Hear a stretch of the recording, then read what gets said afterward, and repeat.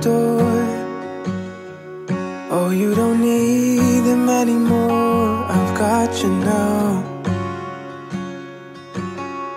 Hold on to me, don't let me go. Oh, if you find it hard to breathe, I'll show you how. Great marriages don't happen by luck or by accident. They're the result of a consistent investment of time, thoughtfulness, forgiveness, affection, mutual respect, and a rock solid commitment between two people. Today we celebrate this. You two already seem to have this part covered. Choosing an intimate, adventurous wedding in another country shows that you don't need a big, fancy celebration to prove your love to one another or to anyone else. As we strip away the performance of getting married in the traditional, stressful setting, this becomes your special memory to share with some of your most favorite people. As we prepared for this ceremony, I asked you to reflect on what it is that you love most about each other, which was probably the easiest part of planning this whole elopement. Cade, Robbie admires your determination. You have huge life goals that you're striving for to better yourself. But then there are also the daily tasks that you seek to accomplish. The little things like housework and yard work, or giving her a back rub to make her day a little better, show that you already understand the importance of happy wife, happy life. She values your authenticity. You are yourself no matter what, never changing to fit anyone's standards. You are genuine, transparent, and honest. Robbie knows that there are no secrets, and she can trust you completely. And then, of course, she loves how caring you. Those little acts of kindness, like a quick text to check in on her, do not go unnoticed. Watching you love Dash through the recovery pro- process after surgery was eye opening for Robbie.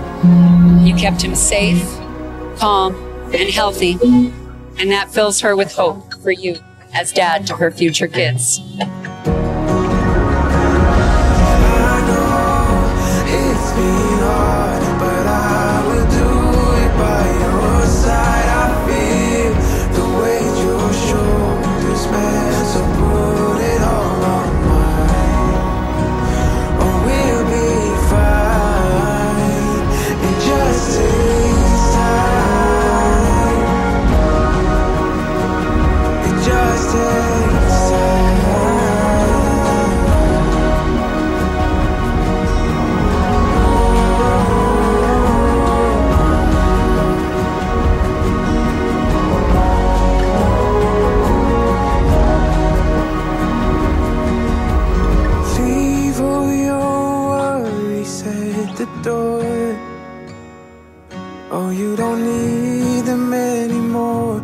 Got you now.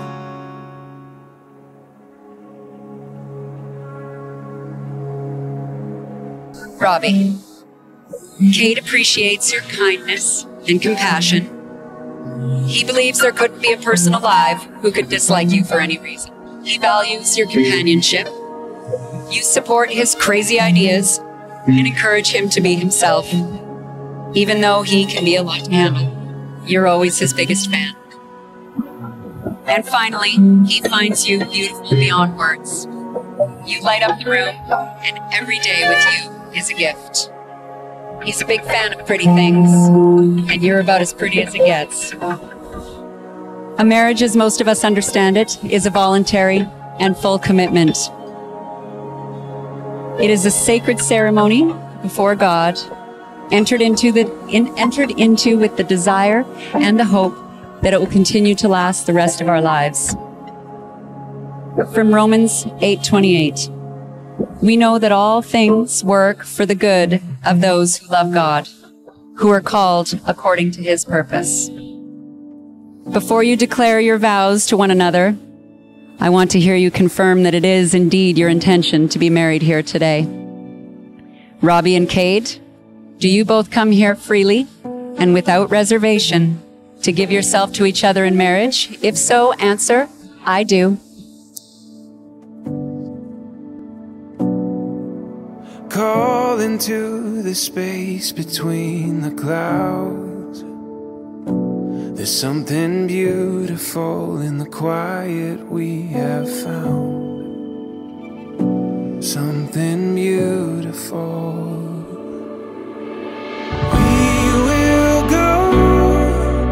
As far as our feet can take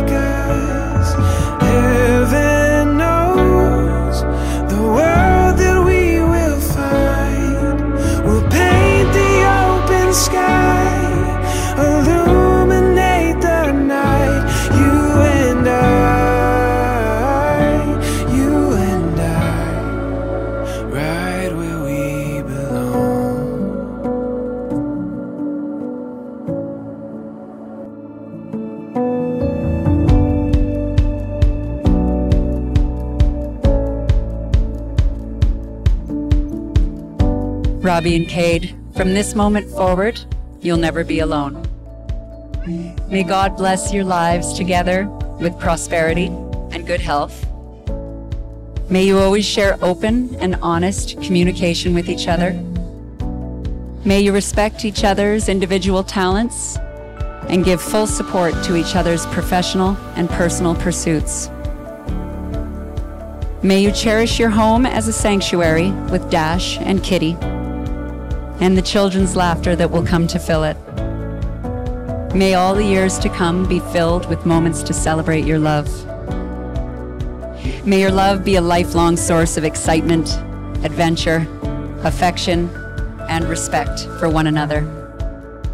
And finally, may you live happily together every day as you are on this day.